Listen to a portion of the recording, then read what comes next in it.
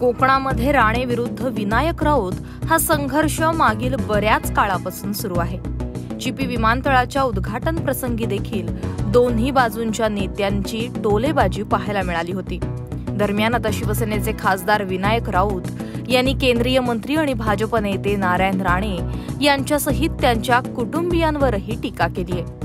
सिंधुदुर्ग येथे झालेल्या एका जाहीर कार्यक्रमामध्ये विनायक राऊत यांनी नारायण राणेंना आणि त्यांच्या मुलांना येथील जनतेनं अनेकदा पराभूत केल्याचा उल्लेख करतानाच हिंमत असेल तर पुढील विधानसभा येथून लढवून दाखवावी. डिपॉझिट जप्त झालं नाही तर नाव लावणार नाही असा थेट आव्हानच केलंय. केवळ आणि केवळ दिल्लीकरांना चांगलं वाटलं पाहिजे.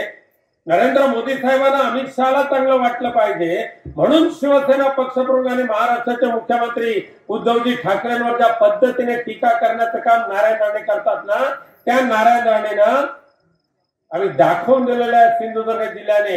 दोनदा पोराला आपटलं आणि एकदा तुला आपटलं. हिंमत असेल तर नारायण राणेने पुन्हा एकदा वैभव नायकांच्या समोर विधानसभा लढून दाखवावी. हिंमत असेल तर.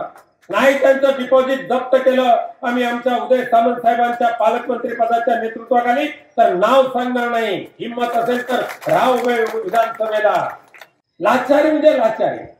आणि शिवसेनेला बेमन म्हणतात हा सिंधुदुर्ग जिल्हा हा महाराष्ट्र शिवरायांचा महाराष्ट्र आहे.